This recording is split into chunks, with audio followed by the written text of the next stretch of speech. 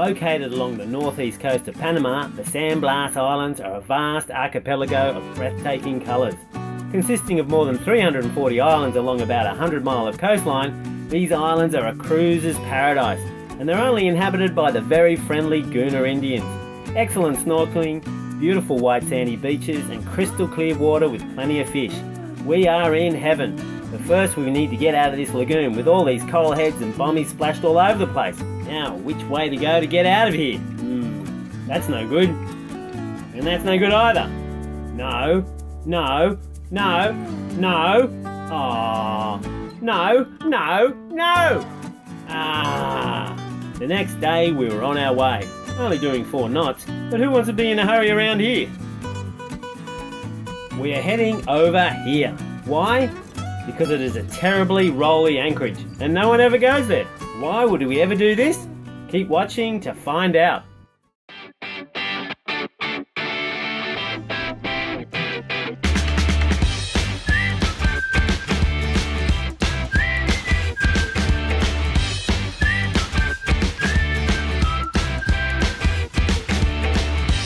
We found not one, two, we found three islands that are just completely empty, just for ourselves. There are no natives around. There are no cruisers or charters. One, two, there's another one right here.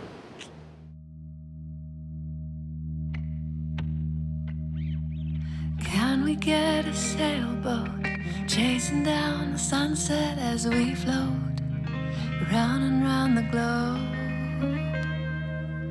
Salty air and balmy nights, guided only by the lights above, and light little love.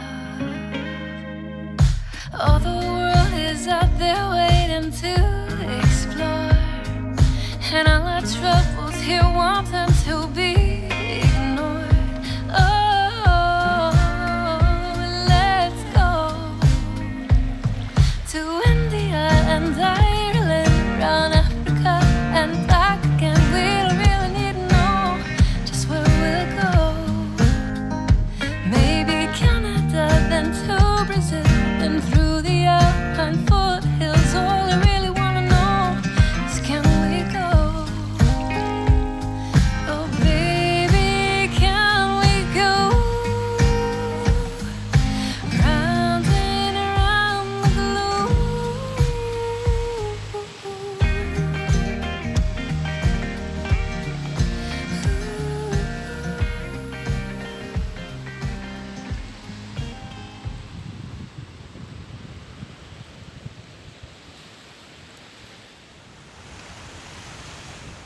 This is what you see in most of the islands in San Blas is full of plastic bottles.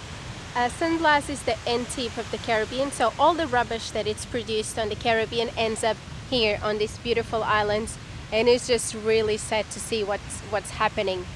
In case you wonder how cruisers that spend months away from going to mainland uh, get rid of their rubbish, um, a way of doing it is burning it, and that's what we've been doing it lately.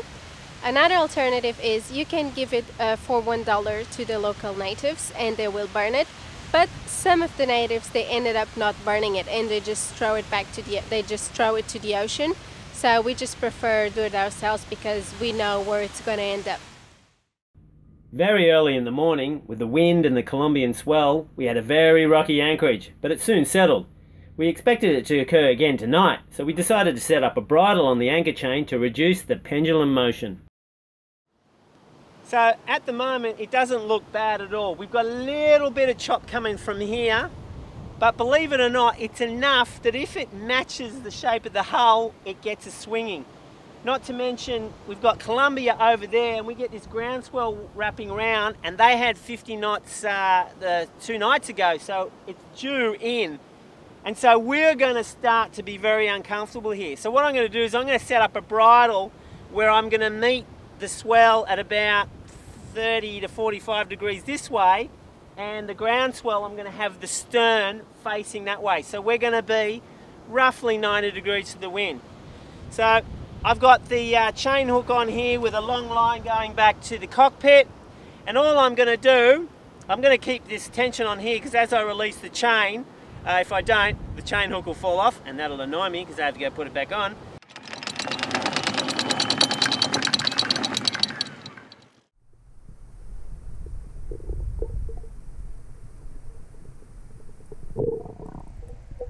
Essentially, we've got the chain going down to there, we've got this line going down to there, and then the anchor chain goes off there. Now the wind at the moment is northwest, so we're not that far off. The wind's a bit light though. It's better to have stronger wind because then it pushes you away and it actually, it's a bit more balanced. Now all I have to do is go back to the back and pull it in until I get the balance right. It's different for all boats. You just play with it and you'll end up working out where you can point your boat and of course where it's the most comfortable. So follow me. So we just got to wait till it gets to an equilibrium and then I'll either release it and or bring it in a bit. But if you notice, now the swell, we're not actually, we're just bobbing up and down, we're not doing the pendulum. And um, because I'm a little bit sensitive at night. Yes, I can sleep, doesn't matter where. Yeah, Margarida, she's fine, she can sleep wherever. But the marbles in my brain keep on rattling and so that wakes me up. Tweaking complete. As you can see, just a gentle up and down motion and no more pendulum motion.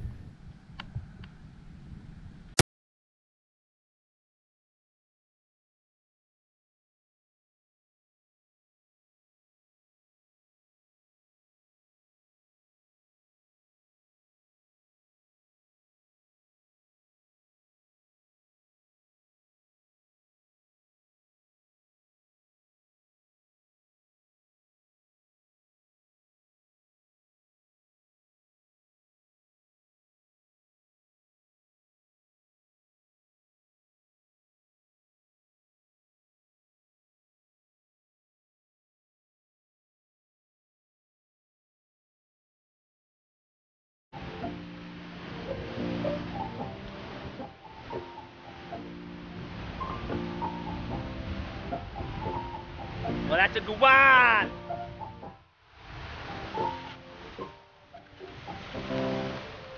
Oh no!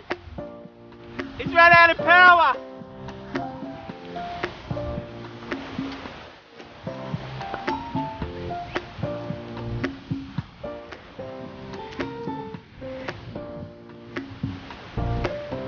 These coconuts, the older ones, I like the milk, or sorry, I like the flesh better. It's much harder, but sometimes the milk's a bit off.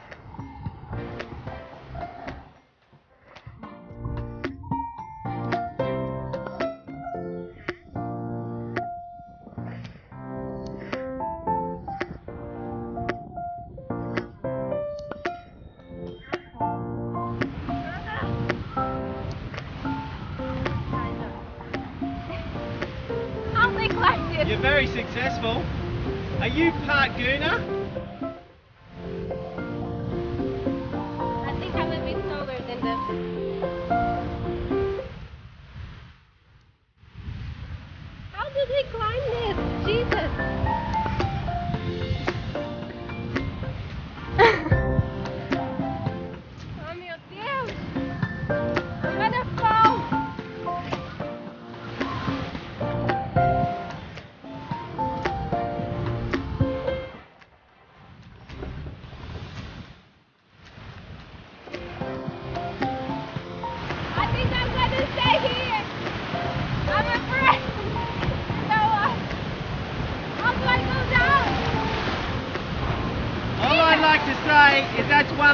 Tree.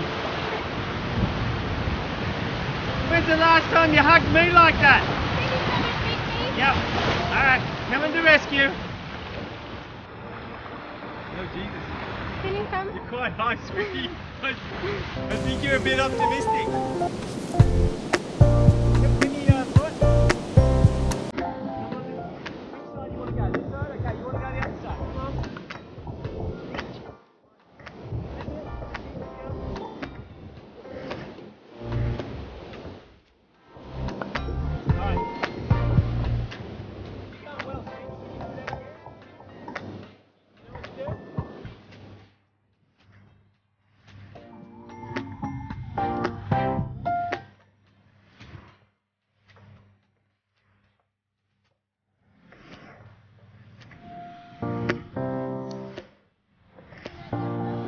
You want me to get you?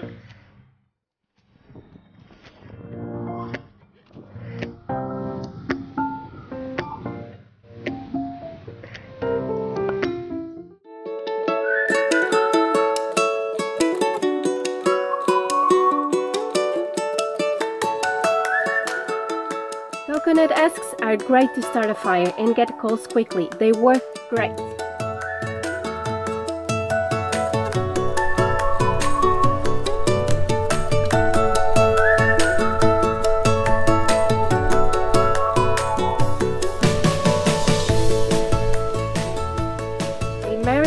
Fish for 3 hours in orange juice and honey before going to the barbecue.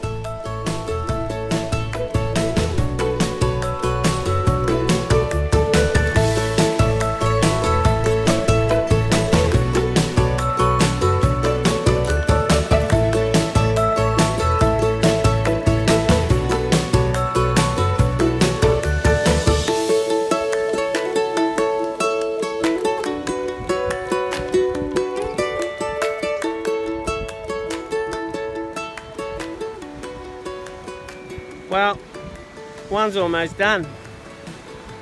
I'm not talking about the barbecue either. Mmm, looking good. Look at that, people. That is excellent. This is our little picnic at the beach.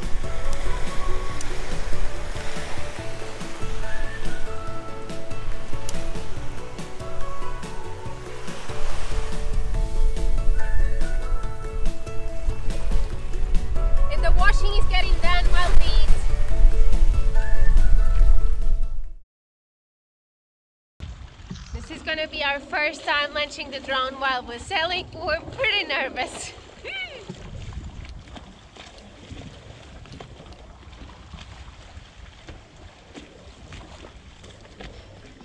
Okay, go that good?